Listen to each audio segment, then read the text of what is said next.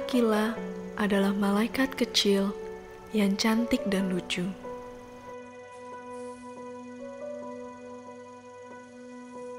Saat ini usia Akila tujuh tahun dan ia hanya bisa terbaring lemah, tak berdaya di tempat tidur.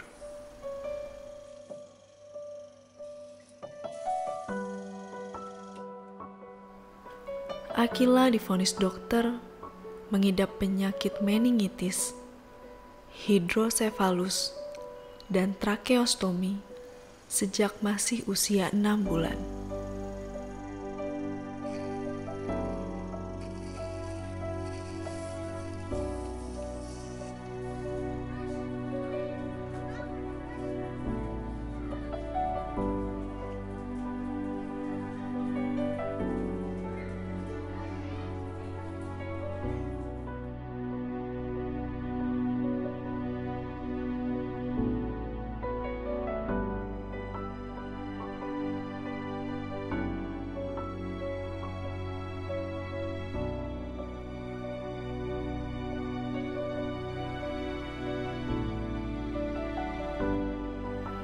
Akila terus memberikan senyuman untuk membahagiakan orang tuanya dan terus semangat untuk melawan penyakit yang dideritanya.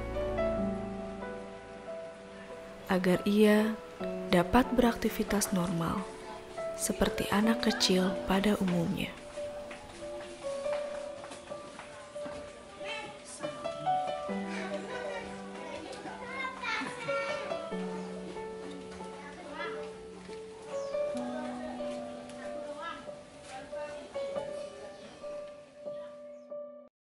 Halo Sobat Stema, perkenalkan nama saya Ivana dalam program Stema Peduli.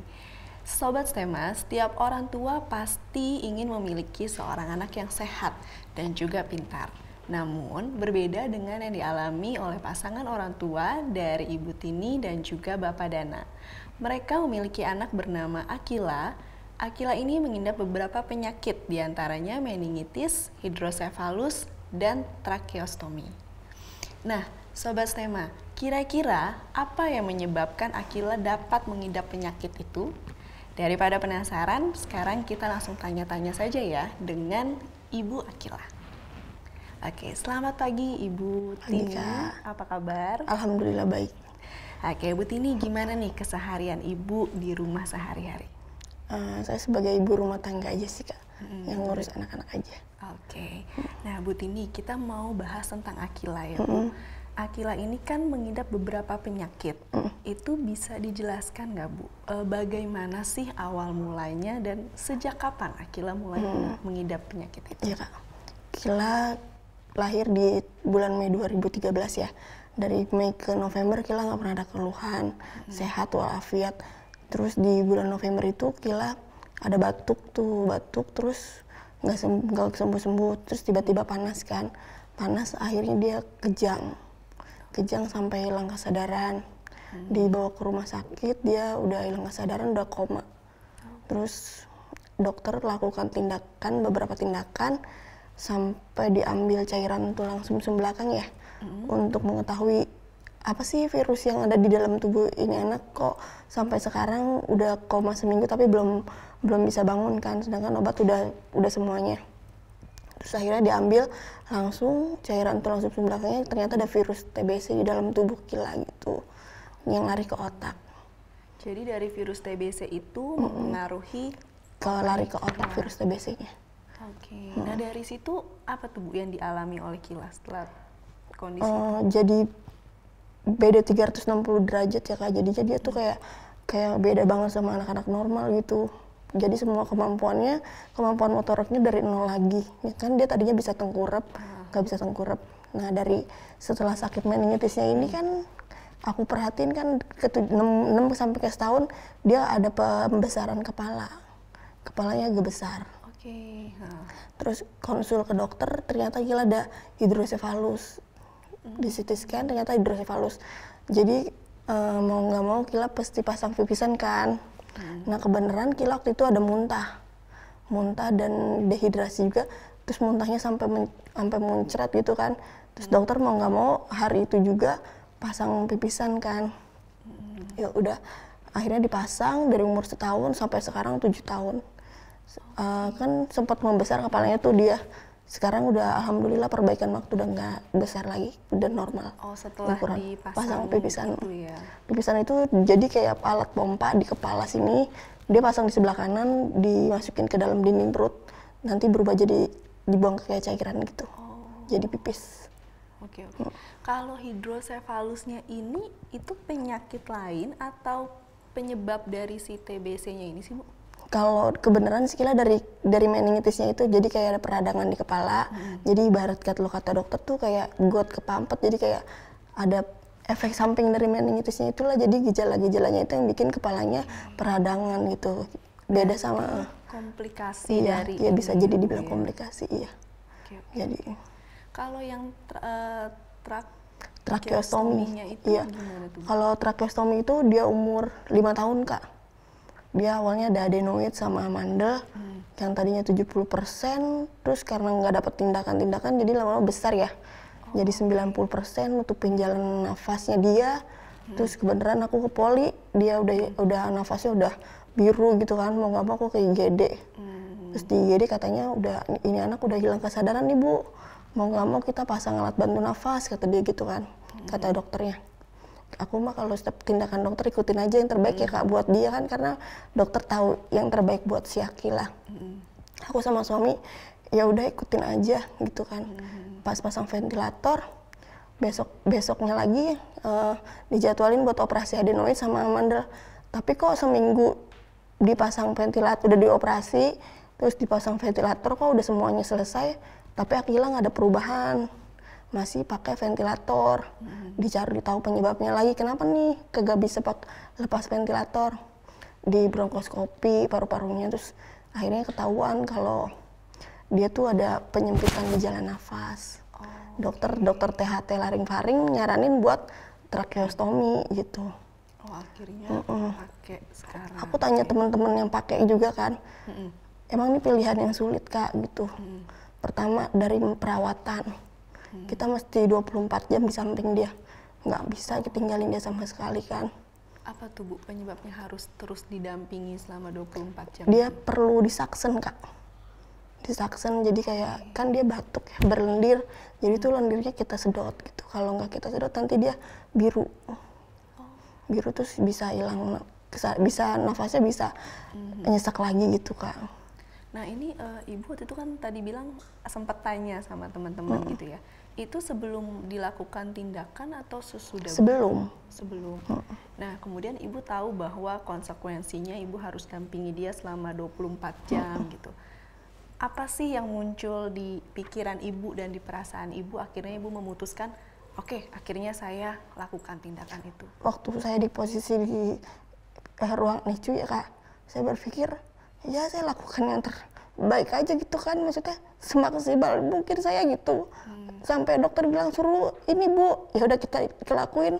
Kalau misalnya emang gila udah ber apa maksudnya takdir Allah berkehendak lain kan saya jadi ngerasa nggak berasa bersalah gitu ya kak nggak ngerasa bersalah sama Kila. Yang penting saya udah ngelakuin yang terbaik yang yang dokter kasih. Kata ibu saya sama bapak saya ya udah percaya aja sama dokter. Biarin aja nanti kalau Kila kayak gimana kita mah terima-terima aja gitu kan. Saya selalu ikut kata bapak saya kayak gitu kan. Terus terus ya udah terus saya bilang ya udah deh ya mau nggak mau lah kita pasang daripada Kila. Kita kan nggak mungkin kak dua apa di rumah sakit mulu kan sampai kapan gitu di rumah sakit mulu. Terus masa mau Kila mau pakai ventilator mulu kan nggak mungkin. Terus ventilator kalau misalnya kita maksain nggak tracheostomi ventilator biayanya kan mahal mesinnya ya gitu kan. Ya udah saya bilang ya udah dok saya ikutin aja yang terbaik sampai sampai sampai kapan gitu. Sampai tindakan dokter apa pun saya ikutin gitu kan. Nanti sisanya biar Allah yang berkuasa deh. Yang penting saya udah puas gitu walaupun dia ngeliat hmm, Sudah memberikan yang terbaik, yang terbaik untuk buat dia gitu. dokter saranin ini ya kita ikutin aja ya dok gimana baiknya dokter aja sih gitu. Ya alhamdulillah semenjak pasang tracheostomi dia jadi bisa lepas ventilator gitu kan kak. Dia terus akhirnya besokannya dibawa ke ruang rawat. Beberapa hari kemudian udah bisa pulang ya alhamdulillah dah semuanya. Ada perbaikan kan. Jadi saya juga walaupun berat yang penting kan dia ada perubahan gitu. Nggak di ruang ICU lagi gitu kan. Nggak di rumah sakit lagi. Cuman ya itu resikonya kita mesti 24 jam full sama dia. Cara kebersihinnya cara beresinnya semua kan. Kita dan tadinya nggak tahu sama sekali jadi tahu karena kita belajar ya. Gitu. Awal-awal sih emang berat tapi sini sininya ya udah kita ikhlas lah. Ridho lillahi ta'ala ngurus dia mah. Jadi jalannya ya dinikmatin aja semuanya. Dari ibu sendiri nih uh, tadi kan ibu sempat bilang katanya uh, secara manusiawi berat gitu ya bu ya. Tapi ibu akhirnya mau untuk lakukan itu gitu. Dari keluarga sendiri bu ada dukungan nggak sih? Atau ada pro dan kontra dari keluarga? Ya keluarga mah paling dukungnya ya udahlah nggak apa-apa daripada nanti di rumah sakit mulu terus kasihan. Yang penting kita mah lakuin aja yang terbaik sama dokter sisanya nanti biar Allah yang berkehendakan gitu. Paling kalau itu kapan sih bisa napas sendiri sih deh gitu ya. Oh. Jangan pakai alat-alat ini mulu kasihan kan ngeliatnya ya kak. Hmm lagi kalau anak saya yang gede ibu jahat banget. Tadi disudut-sudut mulu kadang-kadang saya ya Allah bukan ibu jahat deh tapi kan emang kebutuhan adik kan mesti disudut-sudut mulu ibu juga nggak tega kadang-kadang sampai adik keluarin air mata kan sakit kan kalau disudut mulu kan. Hmm. saya bilang ya nggak tahu deh dek. Semoga aja kita berdoa aja biar bisa napas sendiri gitu. Jadinya kita nggak usah pakai tracheostomi lagi soalnya pakai semenjak pasang tracheostomi berasa banget semuanya jadi inian deh. Berasa banget beda. Bedanya apa tuh bukannya boleh ya tidur juga kak. Saya kurang tidur ya kalau malam ya. Lagi asik asik tidur dia batuk. Saya pun kamu bangun gitu kan. Bergadang nemenin dia gitu. Terus sehari-hari kita biasanya bisa ninggalin dia nganter abangnya sekolah nih. Nggak bisa nganterin gitu kan. Nemenin abangnya sekolah gantian. Jadinya abangnya sama mbahnya mulu kan. Ya udah sama mbah. Jadi saya yang sama Kila dia sama mbahnya gitu. Okay perubahannya berasa banget sih Lebih dari semuanya ibu sendiri gitu mm -hmm. ya karena harus uh, merawat Akila lebih intens lagi yeah. harus memperhatikan Akila mm -hmm. lagi gitu ya bu ya oke okay. uh, eh, dari enam bulan sampai sekarang usia Akila berapa bu udah tujuh tahun dari enam bulan sampai tujuh tahun ini bukan waktu yang sebentar ya bu ya pasti dari ibu sendiri uh, ada nggak sih Bu perasaan menanyakan kenapa sih ini terjadi gitu? Atau ada nggak perasaan ibu menyalahkan diri sendiri atau menyalahkan orang lain, terlebih kayak menyalahkan Tuhan gitu dengan kondisi seperti ini, Bu? Kalau dulu awal kira sakit iya kak, dulu awal kira sakit saya. Apa sih dosa saya gitu ya? Kok bisa gitu sih kila kena kayak gini gitu kan? Awal-awal saya bisa eh, belum bisa nerima tuh kila kenapa masih suka nangis? gitu sama suami gitu kan. Lo kali ini buat kesalahan besar banget nih kata gitu kan. Itu ya udahlah udah terjadi gitu kan emang mau diapain lagi? Mungkin udah Allah sayang sama kita supaya kelar nih. Buat ngapusin dosa-dosa kita kata suami saya gitu kan ya. Terus saya bilang ya Allah kayak berat banget cobaannya gitu kan. Bisa nggak ya ngerawat si Kila sampai sekarang? gitu kan terus dia bilang ya udah kita mau gimana? Kita jalinin aja orang udah dikasih titipan kayak gini. Kan juga nanti kita bakalan nuntut kita ke surga gitu kan kata dia. Ngapus ngapusin dosa-dosa kita sekarang. Yang penting kita jadi orang yang bener-bener aja gitu kan. Jangan melenceng-melenceng gitu. Terus terus ya udah saya kayak kanan batin juga sih mikirin gitu. Terus saya lama-lama saya punya teman-teman gitu kan. Teman-teman seperjuangan. Jadi saya saling menguatkan kak gitu kan. Jadi kita nggak sendirian. Kalau di rumah kita ngerasa sendiri tapi kalau di rumah sakit kita temennya banyak kak. Hmm, jadi lingkungan sekitar teman-teman ibu pun yang membuat ibu akhirnya mau berjuang iya, lagi gitu ya? Kita nggak sendirian kak. Oke oke. Kalau dari keluarga sendiri bu ada sempat uh, pergunjingan atau menyalahkan atau misalnya ada juga yang mendukungkah dari keluarga kalau keluarga sih alhamdulillah nggak pernah ngejingin ya paling tetangga. Oh, oke. Okay. hmm, tetangga. Sebanyak yang ngomongin. kalau waktu kila kepalanya besar ya juga ya. Lu emang enak punya anak kepala besar gitu kan. Dia saya mah paling sama ibu saya udahlah diemin aja pak. Nggak usah diladenin. Siapa sih yang mau dikasih anak kayak gini ya? Ntar juga dia bis kalau udah ngerasain baru tahu gitu kan terus emang nggak capek? Apa ke rumah sakit mulu? Ya kalau diomongin capek mah kita capek ya kak. Siapa juga sih yang mau ke rumah sakit mulu ya kan? Terus terus kata dia terus palingan kita diem aja kan kalau dikata kita nggak- mau balas kan soalnya kita nggak mau ribut. Biarin aja kan dia ngerasain apa yang kita rasain kan supaya biar Allah yang balas aja lah kita mah. Gitu aja sih. Kalau diomongin orang biarin aja lah. Ibaratnya kita ngapusin dosa-dosa kita juga diomongin orang gitu Sampai sekarang masih terjadi atau? Sekarang sih enggak. Udah banyak yang enggak ngatain kita karena udah tahu juga kali ya kondisinya ya. Kondisi kita gitu. Nah, Ibu kalau boleh tahu nih, sampai saat ini Akila masih menjalankan perawatan atau iya kak. Oke, perawatan seperti apa nih, Bu?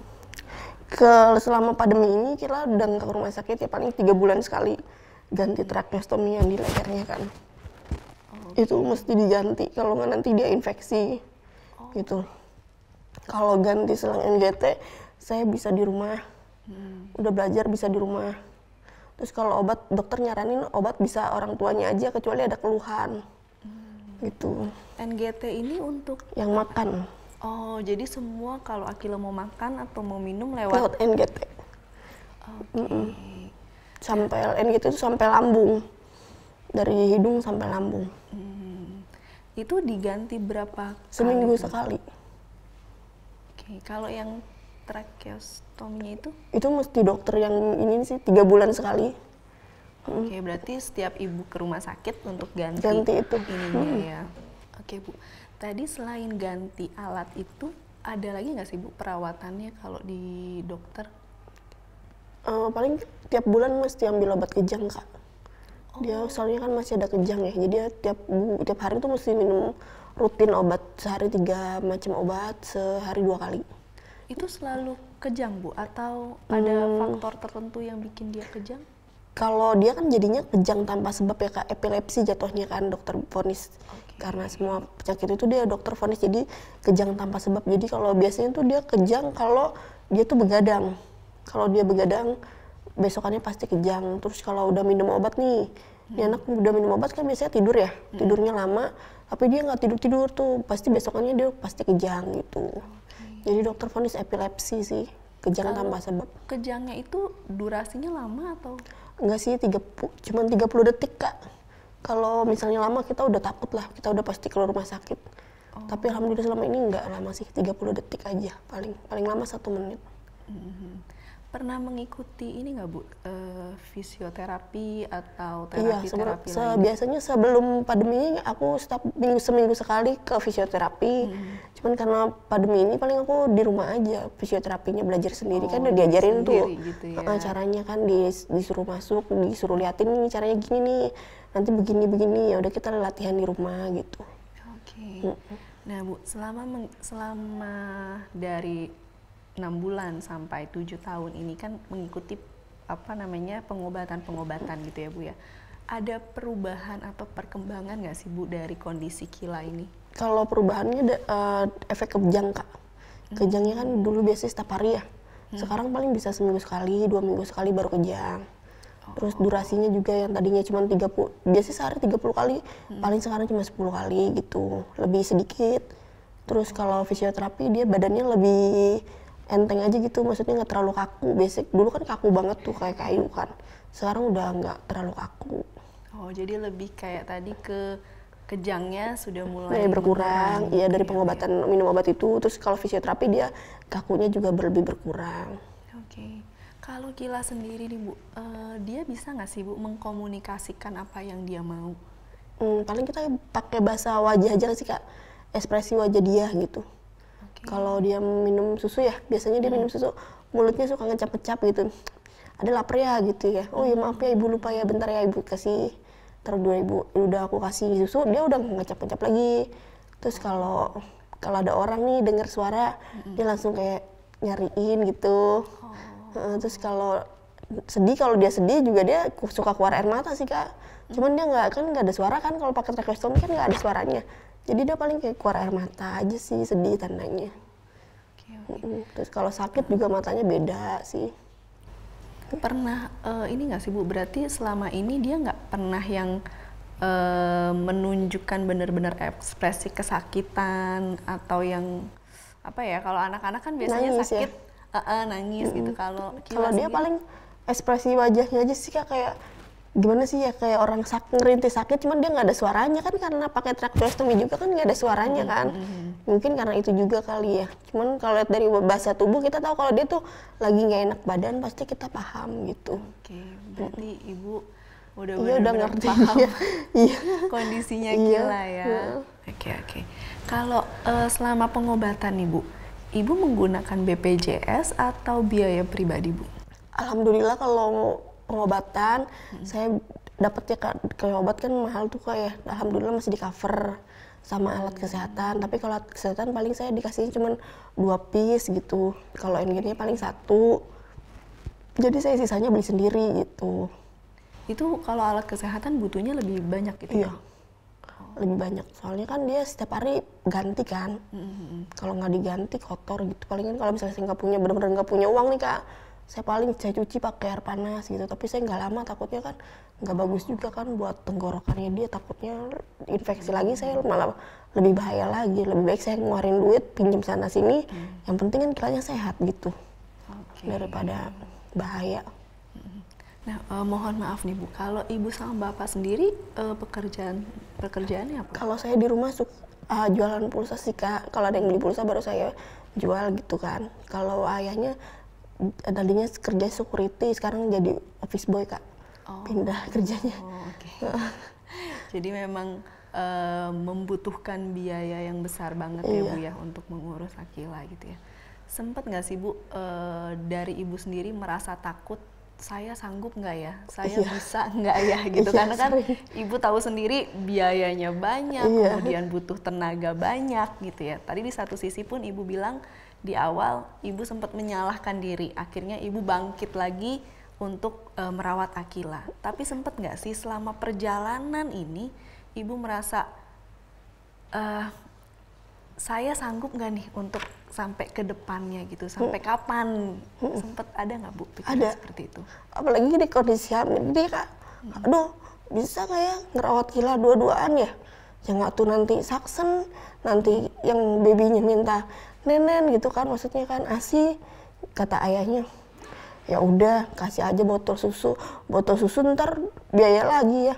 Ya udah nanti biar aku aja yang belajar saksen deh dari kemarin ke mana aja kataku ya kata dia ya udah nanti kita pokoknya kerja sama aja kata dia gitu dia yang selalu bilang ya udah kita kerja sama aja pokoknya ntar gimana baiknya gitu kan terus nanti kalau lahiran gimana ya, s- ya, gimana gimana? Udah kita jalanin aja pasrahin aja. Ntar Allah juga yang ngatur kata dia gitu. Udah jangan takut ntar ada Allah pokoknya gitu yang, yang bantuin kita kata dia gitu kan. Bersyukur ya masih punya orang tua ya kak gitu kan. Masih bisa maksudnya masih bisa dibantuin sama mereka kan jagain nanti gitu. Apalagi terus waktu kemarin ayahnya nggak kerja nih ya nggak punya susu gitu kan. Terus mau ke mana nggak tahu lah usaha lah ya kan? Saya mau minjem minjem juga malu minjem minjem mulu sama sama sama saudara sama temen kan nggak enak. Terus ya udah deh nanti mau ngojek aja kata dia gitu. Ya udah dia ngojek tuh kak. Dapat berapa kan tuh? Akhirnya sama dia ditambahin. Pin cari pinjaman kan ke, ke saudara lagi. Alhamdulillah dikasih sih kak. Itu cuman kan kita nggak enak malu minjem mulu ya kak. Itu paling itu sih keberatnya di susu tuh pampers tuh sama alat kesehatan kalau obat-obatan mah alhamdulillah mah di cover Masih semua di cover BPJS ya. Kalau sekarang ibu kandungannya udah berapa bulan? tiga delapan bulan mau jalan sembilan Sebentar lagi. Iya. makanya itu kayak berat banget di situ Mm. semoga aja bisa ngelewatin lah ya Pasti bisa bu. Iya. Soalnya ibu juga punya suami, Iya. punya keluarga yang kalau tadi denger da- dari cerita ibu, mereka semua mendukung ibu banget Iya. gitu ya. Eh, bersyukur sih ada- pasti ada ininya Iya. pada baik gitu kak Nah, eh, ibu ada pesan nggak sih? Nah, nah ibu, kalau untuk ibu sendiri, apa sih arti arkila untuk ibu? Akila ya? Eh, guru kehidupan saya. Dia tuh ngajarin saya ya. Kan saya tadinya kan emosian ya kak. Kalau sama dia kayaknya jadi saya lebih sabar gitu ya terus kayaknya lebih belajar sabar sama dia kan terus belajar ikhlas jalan semua ya. Kita punya duit nggak punya duit ya ikhlas aja jalaninnya gitu kan. Terus gila tuh ngajari kita juga berbagi sama teman-teman gitu kan kak. Kalau kita tuh udah kita nih baratnya udah susah nih kayak perasaan kita udah susah banget ya. Terus ada teman cerita gila nggak punya susu nih nggak punya pampers kataku ya udah nih kila ada stok susu satu pakai aja dulu. Ntar ntar kila nggak ada kila ada ntar siapa tahu aja ntar kila dikasih ngasih tabungan kamu kila ada rezekinya lagi gitu kan kak.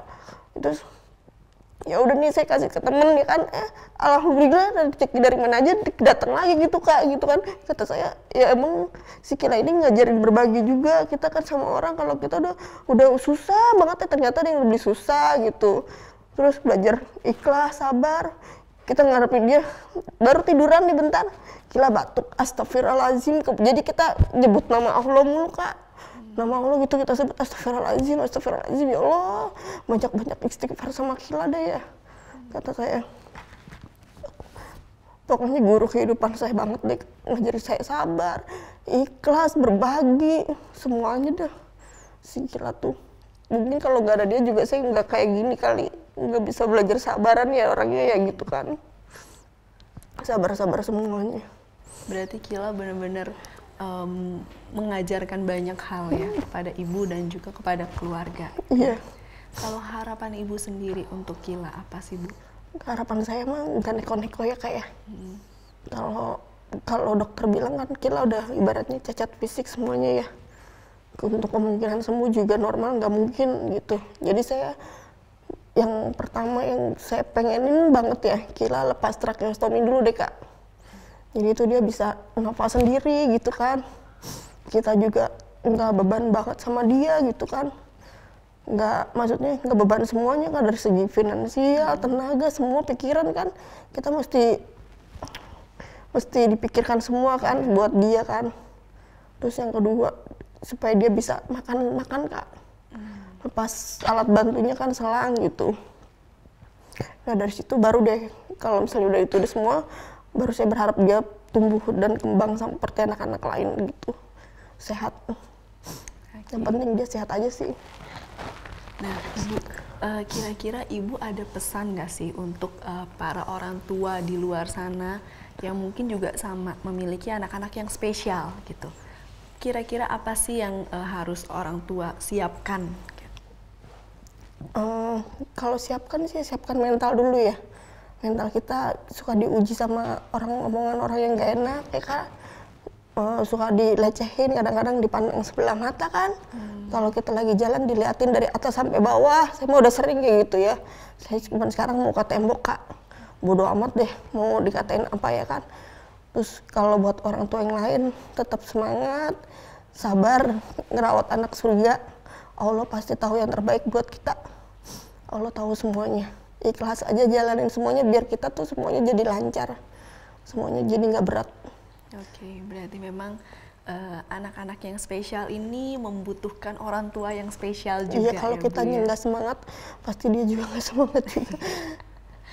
Oke, nah uh, ibu, kami ada sedikit hadiah dan juga uh, beberapa uang tunai gitu ya. Mungkin ini bisa membantu ibu dan iya, terima Kila juga terima kasih. supaya uh, Kila semakin lebih cepat pulih Amin. dan bisa jadi uh, motivasi kebanggaan keluarga. Ya, terima kasih. Ibu ya.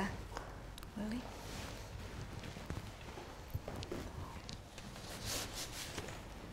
Ini ada beberapa ibu. Ya, terima kasih kan.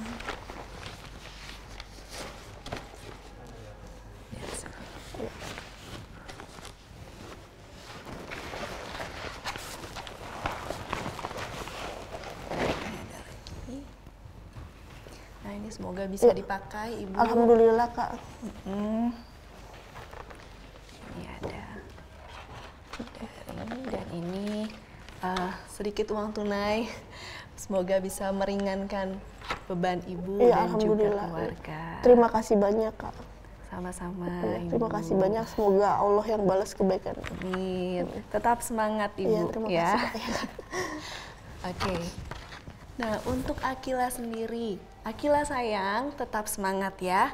Kamu pasti bisa dan kamu adalah malaikat kecil buat orang tua kamu. Amin ya Allah.